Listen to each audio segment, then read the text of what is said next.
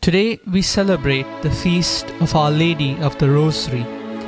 It was on the 7th of October 1571 that the great naval battle of Lepanto was fought against the invading Turks.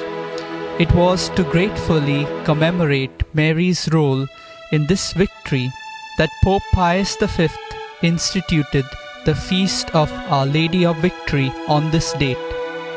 Later popes, in keeping with the fact that the victory was basically the fruit of the Rosary, termed it the Feast of Our Lady of the Rosary.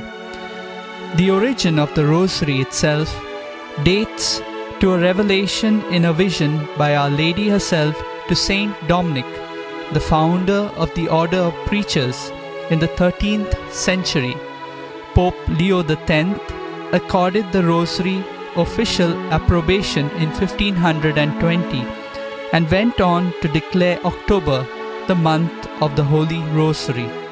The term rosary comes from the Latin rosarium that alternately implies a rose garden, a bed of roses, a garland of flowers, and a rosarium that has the collection of nice coats.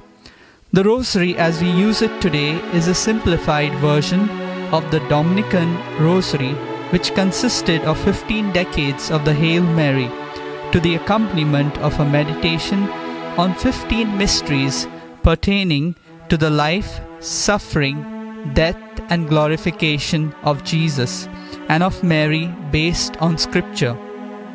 Pope St. John Paul II through his apostolic letter Rosarium Virginis Mariae of the 16th of October 2002 has added a set of five new mysteries to the Rosary, namely the luminous mysteries.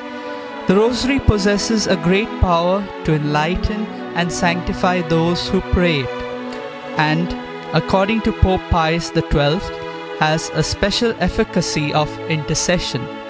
Let these words of Saint Louis de Montfort instill in us a desire to follow Jesus more closely by praying the Rosary.